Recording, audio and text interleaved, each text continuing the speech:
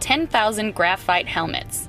These go for $244 each, although for such a large order, you could probably negotiate the price down to $200. At least they gave us a discount.